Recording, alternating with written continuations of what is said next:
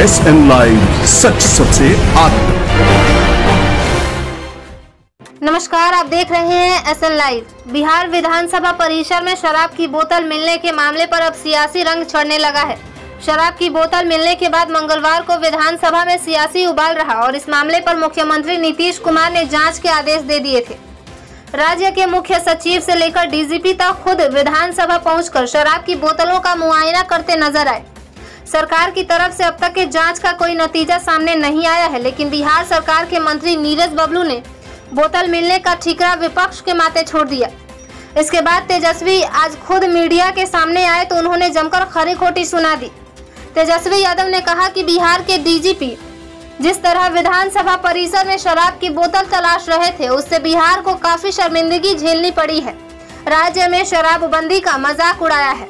और जो लोग विपक्ष के ऊपर आरोप लगा रहे हैं, उन्हें यह बताना चाहिए कि राज्य के बॉर्डर से गुजरते हुई शराब पहले पटना तक और फिर विधानसभा परिसर तक कैसे पहुँच जा रही है? राज्य की पुलिस आखिर कर क्या रही है?